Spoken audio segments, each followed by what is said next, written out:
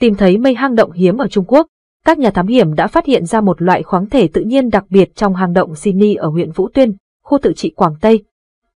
Theo báo cáo của Viện Địa chất CATS thuộc Cục Khảo sát Địa chất Trung Quốc vào hôm mùng 2 tháng 7, đám mây hang động có diện tích 300 mét vuông và được chia thành 7 vũng, mỗi vũng có hình dạng của quả bí ngô hoặc ổ bánh mì. Bản thân hang động Sydney có chiều dài 2.754 mét với địa hình thoai thoải, đây mới là đám mây hang động thứ hai được phát hiện ở Trung Quốc, sau hang Di Ngua ở huyện Đan Trại, tỉnh Quý Châu, Giang Y Ua Nhai, một kỹ sư cấp cao tại Viện Địa chất Cát cho biết.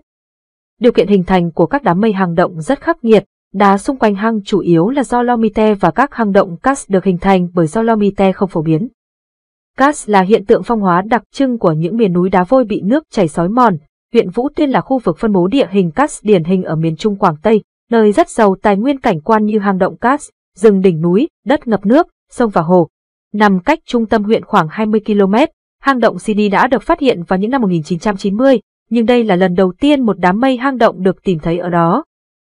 Nhóm thám hiểm bao gồm các chuyên gia từ Trung Quốc và Pháp đã tiến hành khảo sát địa hình và cảnh quan núi đá vôi của hang động, đồng thời kiểm tra mức độ an toàn bên trong. Các nghiên cứu của họ đã cung cấp một điểm tham chiếu khoa học mạnh mẽ cho quá trình mở rộng, sử dụng và phục hồi hang động sau này.